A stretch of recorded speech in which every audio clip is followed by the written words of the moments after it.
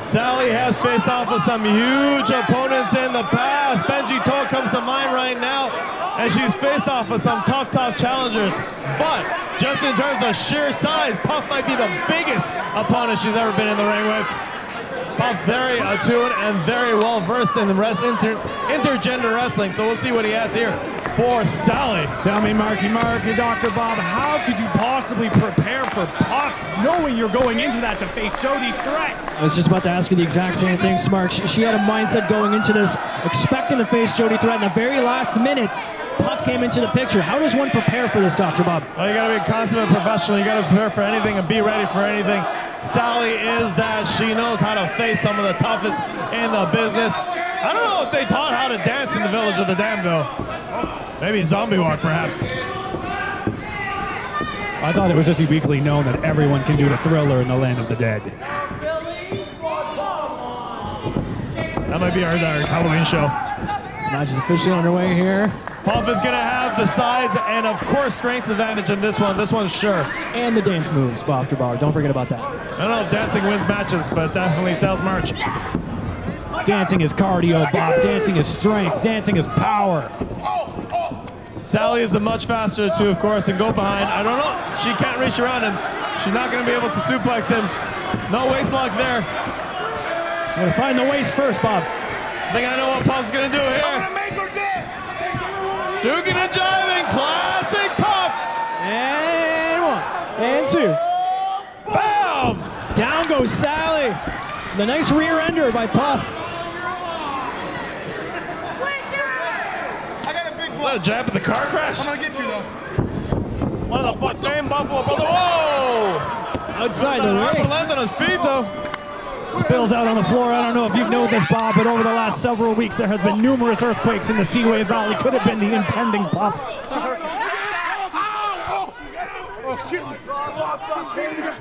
Referee Emily Parker. Oh! Puff in shock! Give that man a breather. What a slap. Oh! Sally Trey shot to the best of them. Not afraid of Puff. Referee Emily Parker up to a four count here. Got till Sally 10. did break it. I really got to wonder at what point Bill Murray, Ernie Hudson going to bust down the door and help us deal with this Puff man. Give us a sponsorship. Puff taking a breather, taking a seat here. Puff's trying to hide behind the Seaway Valley Wrestling crowd here. But Sally's not blind, folks. Sally's gonna go coast to coast here. Oh! Back first into the ring post. Up to a four count. The hands of Puff know what he's going for. This doesn't work out well. Very Ric Flair-esque. He's gonna go. Breaks the count. Kind of. And he's going for the tour of the world here. The crowd behind Puff here. Let's see if the man's Here we working on his cardio. I did see a lot of gyms here at the Nav Center, Dr. Bob. I might be a, a fortune teller because this is not going to work out well. How far does he He's running usually? the bases. Usually gets around three quarters of the Oh, way. he's over there, almost. He needs some water.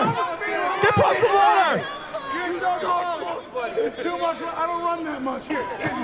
And Puff no longer wants to run here, actually pushing Sally and taking a break. Asking the Seaway Valley faithful here for some water. I don't think that's water. Oh, I really hope there weren't any kids there. There's one. Welcome to Cornwall, baby.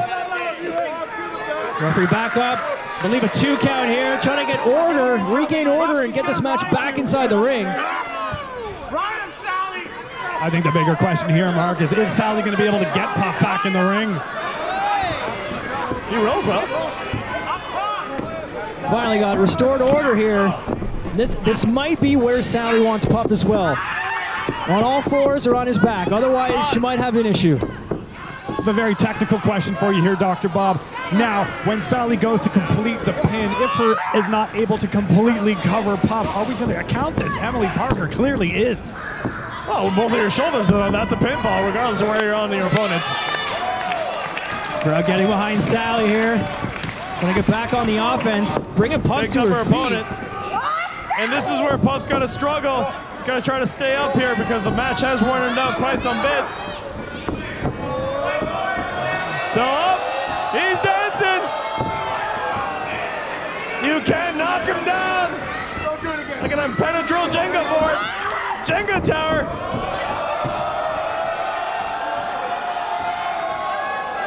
Back up. Weebles wobble, but they don't fall down, Mark. Is it third time the charm? Up to the clothesline. Oh! Goes Sally hard. A tilt-a-whirl face plant slam there.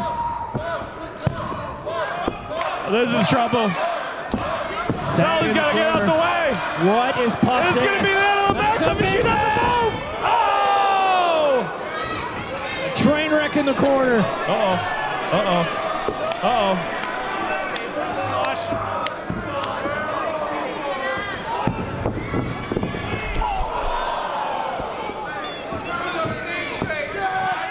The brutality we are seeing here, Mark. And the big man from Buffalo is clearly in the driver's seat, but Sally's gone. The smart move, get out the ring. Puff clearly not knowing what's happening here, not keeping his eye on his opponent, Bob. Does this happen often? I've been celebrating it slightly too early. Emily Parker also confused. Trying to help Puff look for Sally here. They're both not sure. Bend it. Sally, come here. What are you doing? Oh, the black mist! He's blind. Puff can't see anything. This is the moment. She needs to put him away here. Death on roses! She has to go for the cover here. What? She usually finishes off her matches. She's going for a She's not going up top, is she? What is Sally picture perfect here? moonsault! Here we go. Oh! That has to be it. One, two, three. It's over, folks. Sally victorious.